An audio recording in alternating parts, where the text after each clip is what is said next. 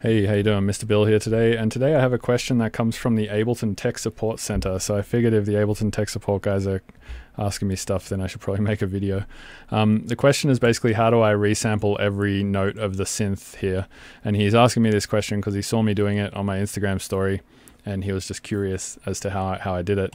Um, so I'll show you how I set that up now. Um, and just before uh, you comment um, on why I'm doing this, the premise is that you want to take every note from the synth. So you want to resample every single note, um, as many notes as it will do. Some most Eurorack stuff will only do five octaves, but you know some synths will do like eight or ten octaves. Um, and you want to basically resample every single note, like C1, C sharp one, D1, D sharp one, etc. And then you want to put all of those notes separately in a sampler, and then that sampler can play back each note um, cleanly without having to put in, say, a C1, and then when you play a C3, it's stretched it up by two octaves and created a bunch of aliasing and stuff like that. So we're trying to mitigate that by recording each note out of the synth. Um, and the way that I the way that that looks when this is running is uh, like this. So I'll hit record on this channel and then start playing these clips, and we'll get something like this.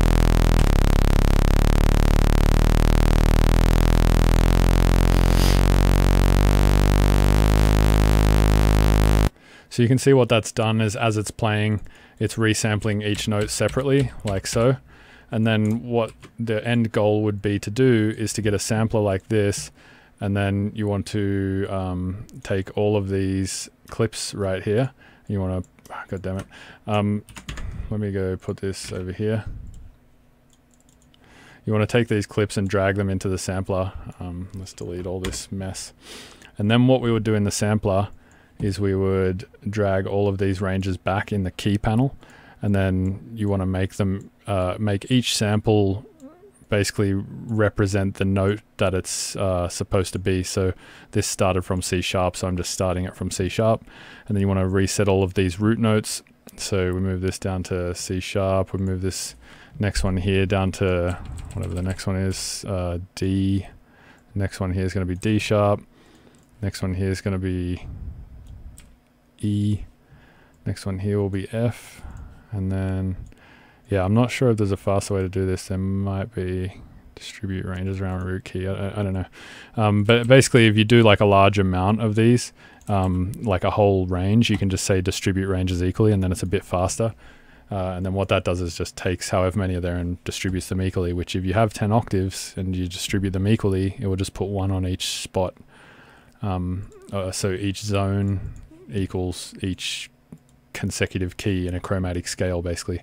So if we play this back, um, some weird filtering stuff going on here. I'll turn that off. Okay, so here's C sharp uh, 2. So I'm just going up the notes on my keyboard. And you can see instead of stretching that note, it's actually playing back a new note every time. So every time I click on one of these, you can see this has become a multi-sampler now. And the, the idea is that it's just a bit cleaner. It's not stretching the note. If I just put one note in like a C2 or something and then I had a long range like that and then we just deleted um, all of these, basically it will start stretching it. And then as we get higher in the keys, it will start to sound a bit a bit worse than if we had have resampled it. So the point of doing this is basically for this reason, to make an instrument that makes a little bit more sense. Um, or sounds a bit better, rather. It doesn't really make any more sense. Um, so the way that I did this is I used uh, this program called loopMIDI, and you can do this on a Mac without downloading downloading a third-party program. But on a uh, sorry on, on PC, you need to use this thing called loopMIDI, made by a guy called to- Tobias er- Erichsen or something like that. I'll um, put the link in the description. And pretty much what I want to do is I want to use this to send MIDI data out of live and then back into live. And you'd be like, well, why do you want to do that? Well, how do you think I was recording all of these things as, as this was running? Well, the way that I was doing it is I was sending MIDI out of these clips here, and these MIDIs were sending MIDI messages into these cells to, to tell them to record. So what I did is I made five octaves of MIDI notes, um, and the way that I did that was pretty much just 1, 2, 3, 4, 5, 6, 7, 8, 9, 10, 11, 12. Uh, let's consolidate this and just make one octave. So I'll just grab all these notes and just move them up one at a time. So we're just making one octave worth of MIDI notes, uh, like so. And then just duplicate this and then uh, press Control A to uh, highlight all these notes and then press Shift up arrow. And that will uh, basically just make it go up an extra octave. Shift is what makes it go the octave. If you just press the up arrow, it just goes up one semitone. And then if we highlight all of these clips and press Control J, then that becomes a single clip. And then what I did is I uh, went through and chopped all of these into single notes. And the way I did that was by clicking on the grid and then pressing Control E and then my right arrow like this.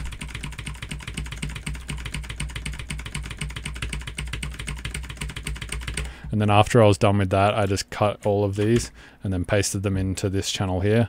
And then as you see here, I just have each consecutive chromatic MIDI note going up for a uh, entire five octaves. And the reason I only did five octaves is because Eurorack gear.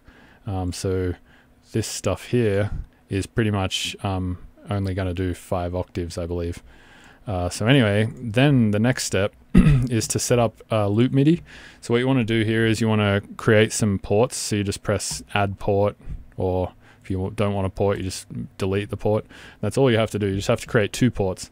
Um, one of these ports is going to be used to send MIDI from live to this loopMIDI uh, application, and then the other one is going to be used to send MIDI from this application back into live.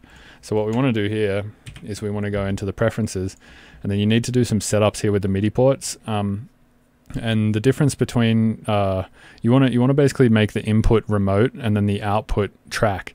And the reason why, if we go here and we read about the difference, uh, what this is from Ableton's website, by the way. So what the track does, um, the track switch on input uh, allows Live to record and receive MIDI notes. So we don't need that on the input because we don't want to receive MIDI notes into live. We want to receive data. And the reason we want to do that, I'll show you what we're going to do here. We're going to um, start playing these clips here and we're going to turn MIDI map on. Then I'm just going to scroll through the cells as MIDI map is turned on. And that's going to create MIDI mappings for us based on these MIDI notes here. Uh, so I'll show you what I mean.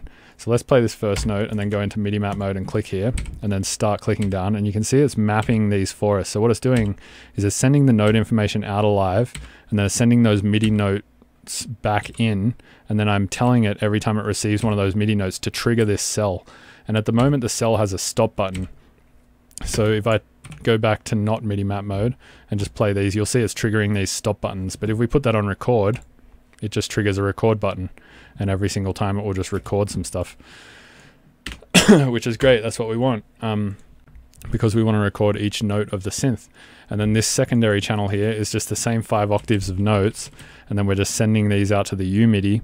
And then the U MIDI on my synth is uh, this little device to the, I don't know if you can see, it's far to the far left. And that's sending the pitch information out to an oscillator. And then the oscillator's output is running to a to this main output. And that output is coming back into Ableton.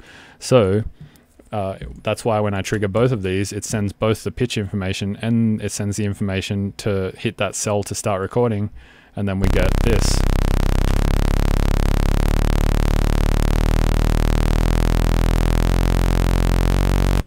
So that's the, the basic idea of it.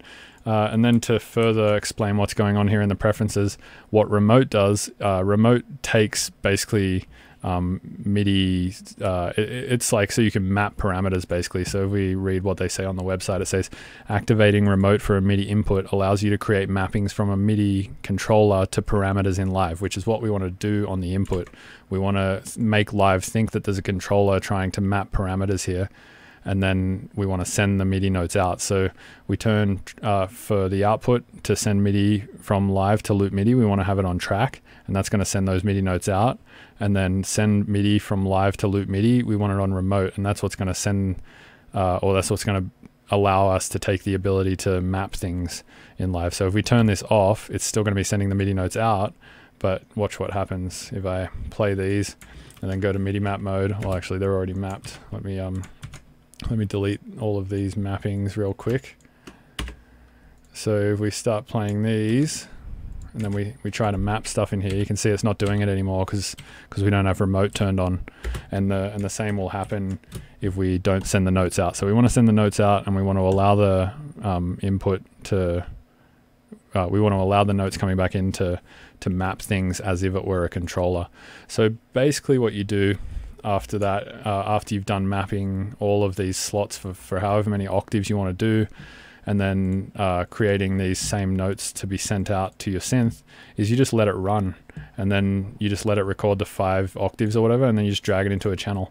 So what i've done here is i've just uh, done this for all sorts. Oh, actually, and, and another thing to probably talk about is the follow actions too. So the so the way that these clips are selecting themselves, so the way that this is like triggering the next clip and it knows to do that, uh, is because of these things called follow actions. So these follow actions basically are like a set of instructions. So you say after a certain amount of time that I define, which is four bars, do something else. So what I'm going to say to do is trigger the next clip. But if I said trigger the previous clip and then this clip here uh, said trigger the next clip, then that's just going to keep triggering these two clips here that I'm going to make red. So you can see the instructions are just telling it to bounce back and forth. This one is saying after four bars, trigger the next one. And this one is saying after four bars, trigger the previous one. Uh, so what I've done is I've just highlighted all of these clips basically and just said after four bars, play the next clip. And then on this last one, I've just said after four bars, just stop. Uh, and at the moment, I'm running the session really fast at 990 BPM, uh, just just for the sake of the tutorial. But when I recorded these, I recorded them at 120 BPM and allowed them to run for four bars each, which is about eight seconds of each note. And then I would just let it run, and it would take us about 10 minutes to um to record all the notes, and then that's that's pretty much it. I would just come back after 10 minutes and it would be done, and then I would just start another one with a triangle waveform or a sine or a square or whatever. Um, so now the next move for me is to turn all these into samplers using that zone trick uh, that I showed you, and then I should have a software version almost of all of my ha- hardware. Um, at least like you know you can have some nice subs and stuff like that. I, I much prefer to do my subs um, with modular it just sounds really nice. I think it might sound shitty on this video because of the bit reduction that I'm uh, the sorry because of the quality that I'm recording at. I think it's like 128 MP3 because I usually use OBS here for streaming. Um, but yeah, that's that's the basic idea. So hopefully you learned some sort of information out of that. I don't know. It's, I think it's a pretty cool trick.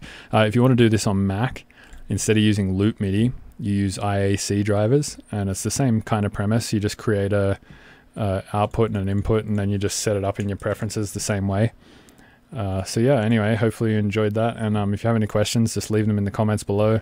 And look out for some uh, some racks pretty soon that I'm going to be releasing with a bunch of modular recordings in them, so you can have nice saw waves and nice subs and nice square waves. Oh, I love the sound of modular.